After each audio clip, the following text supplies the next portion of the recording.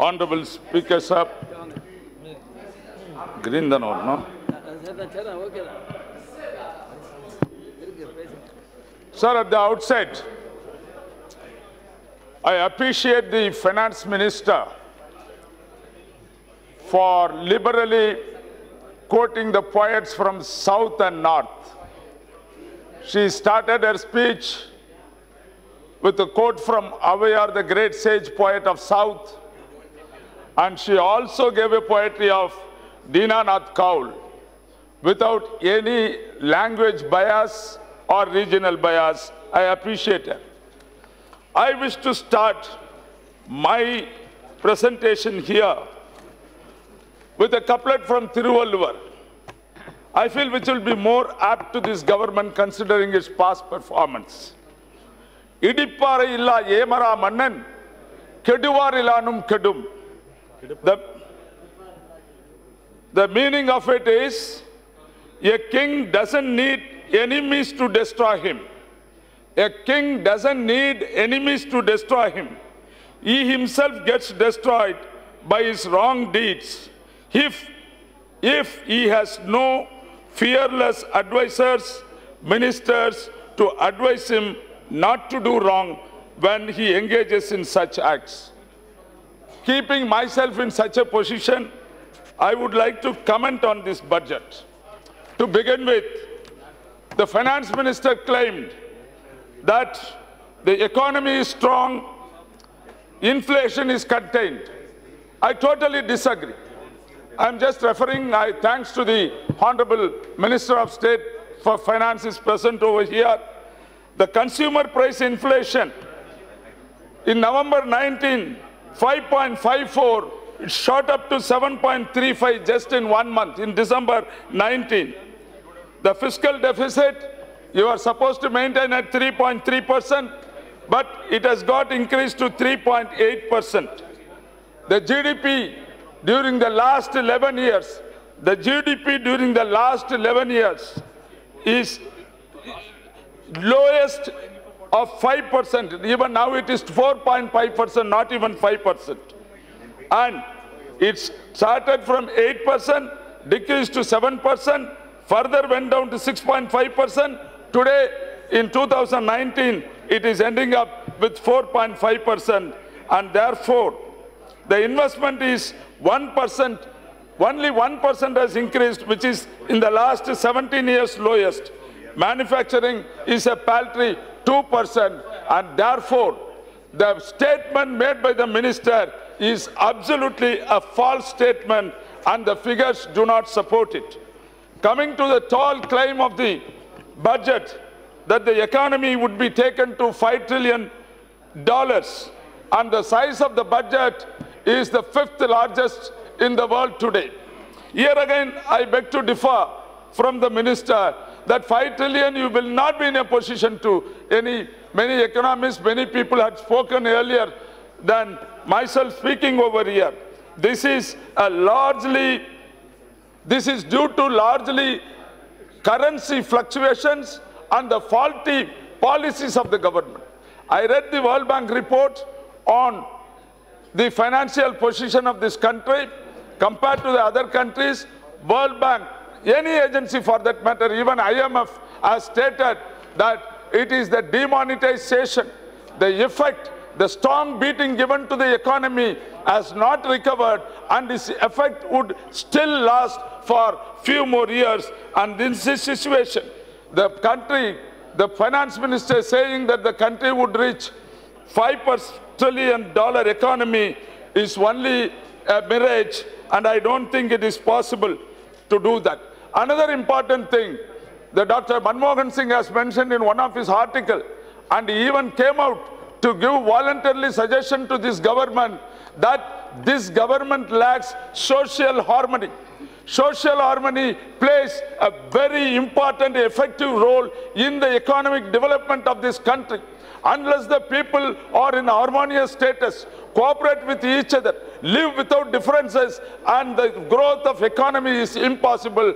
And as the days pass, the disharmony in the country under this government is more than when it started, and we are witnessing it. Today the country is divided in two and two forces are fighting on each other. I'll come to that later. Another mention made by the finance minister is that, that she mentioned the former finance minister, Mr. Arun Jaitley, is the architect of the GST. Here again, I beg to differ. Who has invented the GST system? Who started it? Who designed it? Who wanted to implement it? Who came to this house and asked for an approval? It is the UPA government. The financial expert, Mr. Chidambaram, has designed the GST under the able guidance of Manmohan Singh and the present government, the present government which was in opposition on that day, vehemently opposed it and did not allow it.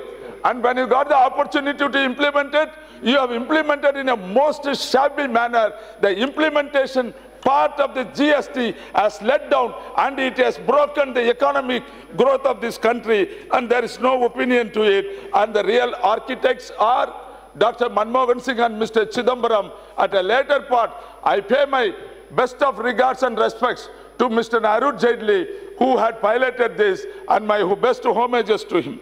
Another point I would like to add here is that the unemployment portion.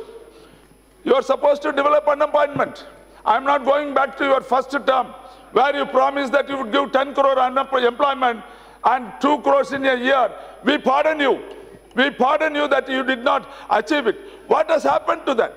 Now you are doing things in such a way, it will take unemployment further.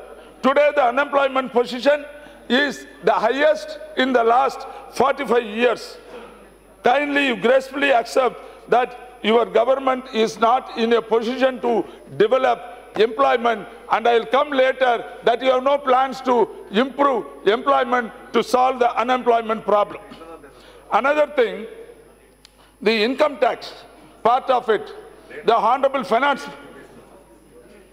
the Honorable Finance Minister has mentioned a statement, made a statement, faceless appeals. The Finance Minister, MOS, may also know that the Finance Minister has mentioned faceless appeals. That means the entire income tax system would go on online. Everything would be on online. Aadhaar would be linked. And from Aadhaar, you can get the PAN card. From the PAN card, you can get the Aadhaar. Everything online system has been done. There is no need of interaction of the human being in running the country. Please put your hand on your heart and suggest that who had devised this system again? What are all the opposition then said about when Aadhaar was taken? I'll just quote only two points, sir, Honorable Speaker, sir. On March, sir, uh, March 12, 2004, it was mentioned by the then opposition, Aadhaar program is a fraud perpetrated on the people. Aadhaar program is a fraud. So you are using that fraudulent system today. You only said we did not say that. I don't want to name which spokesperson has mentioned. This Aadhaar system which was brought by UPA is a fraud. And it is a useless system. The Aadhaar cards are given to the illegal residents over here. At least we are giving illegal residents, but now you are taking away the citizenship of the legal residents in this country. And that is what your CAA is doing. You talked about direct benefit transfer. Who had done, I'll finish it, sir. Sir, you can interfere later, sir. So the BJP said, again the Honorable Finance Minister may note, direct benefit transfer is not a game changer. But now you will say that it is Yes, a game Jayakumar ji, changer. now please conclude. Sir, two minutes, sir. Time is So already. entire thing, sir, what I'm trying to say is the entire system, the finance minister was kind enough to mention that if, if prime minister was there and that prime minister, a prime minister was there and that prime minister said only 15% of the benefits reach to the people and 85% goes in the drains. And therefore that prime minister started this system to see that the progress reaches the people. And the finance minister was feeling shy on that day to mention the name of that prime minister. And that prime minister is Rajiv Gandhi ji who has given his life for this country's sake that it is bad that his name was not mentioned in this budget when you talk about any online system Yes, in the country. please, And he is the person who has connected India online with the world and brought a scientific temper to this country. None other than that is responsible for it. Thank you. Sir, only one point, sir, you will agree with me. I want to mention about the disinvestment. What no, is this government going about? Please, Why you are going for disinvestment? You don't have money. You are bankrupt. You don't have money to spend. To spend money, you are disinvesting. Otherwise, you will not go for LIC. As Congress government also did it, we were selling sick industries. We were telling bread making companies. Government was not to make bread. But here, you are going to sell LIC, a company which is making crore and crores of rupees. 14,000 crores is the profit of that company today. And that company you are selling, what is the reason to sell this company? I will tell you, because the Please private parties are going to take part in it and in the later phase, it will slip into Yes, the private ji. party's hand. And that is the, the illegal means of your trying to do. You please conclude with the concluding remarks. No, you go on for new It subjects. is going to give a spiraling effect on the economy. Your disinvestment will not help you to develop the economy. On the contrary, the railway and the public sector undertakings, disinvestments will bring in 1.3 million employees in railways are there. You, what, you. what is the solution you Anupam- are giving? Anupam You are